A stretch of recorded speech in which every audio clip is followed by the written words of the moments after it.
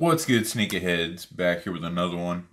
This one actually was surprisingly pretty easy to get after, you know, looking at everything online and people were like, oh, I need to enter the raffle. Oh, I need to blah, blah, blah, blah, blah, blah. Like, yeah, I entered one raffle for it and ended up hitting for it. So I was pretty surprised, but, you know, not really at the same time because I had pretty good luck with these people. So let's jump right into it shout out to Black Sheep. That's all I gotta say. Shout out to Black Sheep. I've said that so many times. I love those guys. Um, because of the issue that they had with the dog walkers, check that video out. Um, they've switched everything over to uh, an app to do the raffles with. I think it's like Cop Cop Date or something like that. Um, so yeah, it's the first time that they did it, and I hit pretty easy. And the crazy thing is, they only had one size twelve. Like they literally only got one size twelve, and they had a lot of people that put in for them. So I was pretty surprised, and believe. And the only reason why I know I got they only had one size twelve is because the box is destroyed, and I was like, "Yo, uh, can I get another one? They're like, that's the only one we got. I was like, can I at least get a different lid? They're like, nah, bro, that's, you know, the way it comes. So I can't really like, you know, screw somebody else up. So I was like, I understand. So I went ahead and copped it. Um, I mean, I was going to do it anyway. It's not like I'm going to sell them or anything. I'm going to actually like, you know, take the paint off and all that good stuff. So might as well. So look at this bit of destruction right here. See that? Look at how bad this box is. This thing looks like straight up Ace Ventura, like played soccer with this going down the hallway.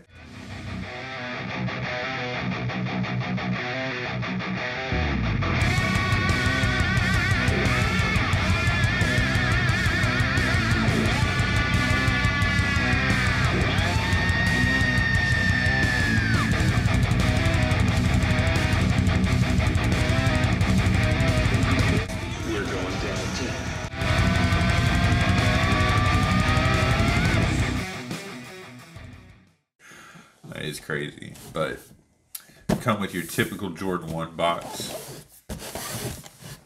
Size 12, as always. Like the lid won't even like, you see what I'm talking about? it's crazy. Alright, so these come with this like fox wood grain kind of, you know, design on the outer paper. Then you got the inner paper and then you got this super colorful beauty right here. So you got three extra laces with it, a peach, a bright, bright, vibrant pink, a gray, and then they come with your typical black Jordan 1 lasers. So, not too worried about that. Alright. So these are the Air Jordan 1 Nike SB Light Bone. Kind of, not going to say a collab, but it kind of is in a way, not really. Um, these are the New York City to Paris. Uh, I'm not going to say Jordan. Jordan 1 SBs, I guess. It's really weird with this sneaker because, you know, it's a Jordan 1. It's a true Jordan 1 high and the Jordan 1 highs are what skaters used to skate with back in the day when they first came out because it's like one of the best skate shoes. You know, it's got zoom air on the heel and the toe. Um, it's just, you know, grippier on the skateboard, more comfortable. You got the ankle support, everything. It's perfect for a skateboarder. So uh, that's kind of why they went that route with this. Now, this sneaker, actually, I'm going to go ahead and switch it out so you can get a good idea of what the shoe looks like. You don't have to look at the laces the whole time, but look at those crazy laces. All right, so this sneaker is the first to release out of a pack of two. So, like I said, this one's the New York City to Paris, and the one that everybody wants, and I personally want, the one that's going for like the crazy amount of money but there's a reason for it. Is the uh, LA to Chicago. So that one's like you know LA, which is purple, and you know Los Angeles Lakers colorways, uh, to the Chicago Bulls colorway. Everybody wants that shoe because when you strip it down, when you take all the paint off, um, it's an exact Chicago one. The upper is the Chicago one.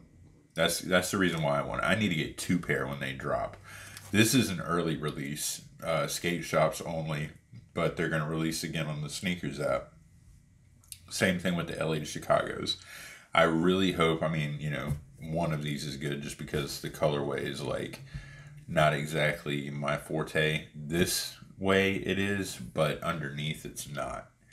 So, but I'm gonna do my own little thing with these. No worries. So, and y'all see that. Uh, but I need that second colorway just because I want to keep one, you know, LA, and then turn one into Chicago ones because I don't have the Chicago ones. I'm not gonna really spend that much money on them. And the crazy thing is, if I wanted them, like if I don't hit and I go to buy them just so I could have the Chicago ones, I might as well just buy the Chicago ones because they'll be cheaper if the resale stays at what they are like six hundred dollars right now. Probably not, but yeah, you get my point. Now this sneaker features a more neutral toned upper uh, compared to the other one, and in this color colorway, it's the New York.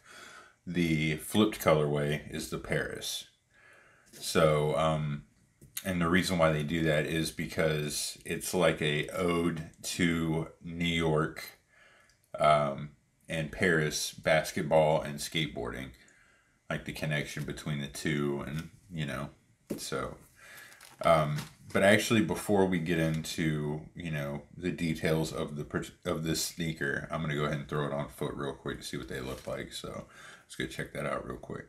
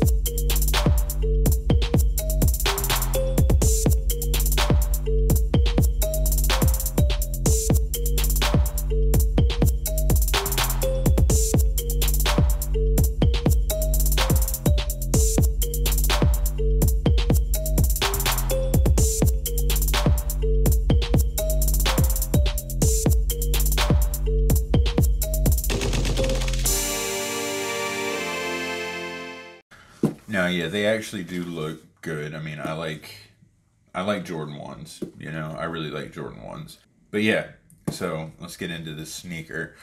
Um, the bottom is your typical white outsole, which is kind of unique for these because you know the midsole and outsole, like the outsole is usually a color that matches the upper. So I'm surprised that the outsole is not gray.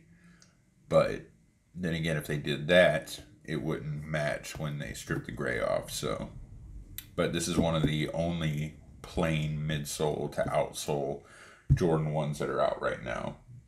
You know, like looking at my wall, uh, they're all different. the outsole's completely different. Now the upper consists of a lighter tonal gray color uh, that kind of outlines the entire sneaker, and this gray switches to a peach color that kind of matches that. when you strip it off or when you skate and wear it off or whatever else.